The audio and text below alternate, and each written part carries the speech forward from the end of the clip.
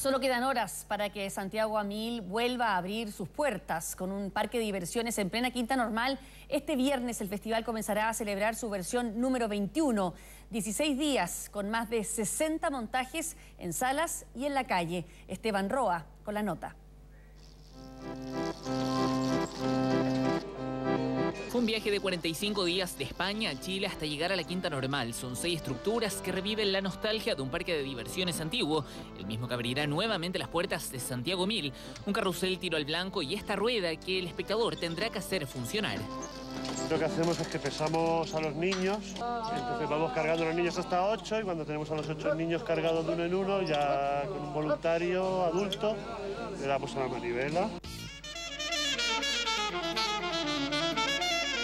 Mediodía de este viernes comienza la versión 21 de Santiago Mil que expondrá más de 60 montajes de Chile y el mundo, teatro en salas y pasacalles que busca superar los 500.000 asistentes que convocó el 2013.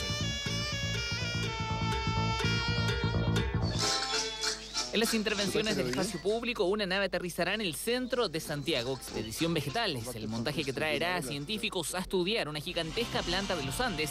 De Argentina llegará RTV Show, un espectáculo de danza aérea que cerrará el evento, mientras que de Chile, la compañía La Gran Reineta, la misma que trabajó con Royal Deluxe, encargada de la pequeña gigante, estrenará El hombre venido de ninguna parte.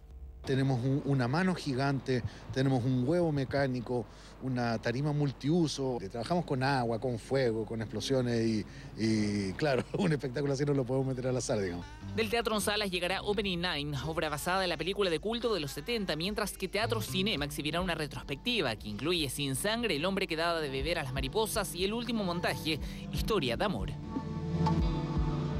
Hay muchos espectáculos que son interactivos, que van a estar en las calles, donde no hay actores en escena, sino que es el público el que se transforma en actor.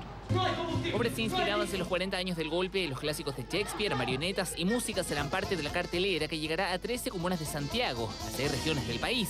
Los 16 días de evento que ya han demostrado que enero es el mes del teatro.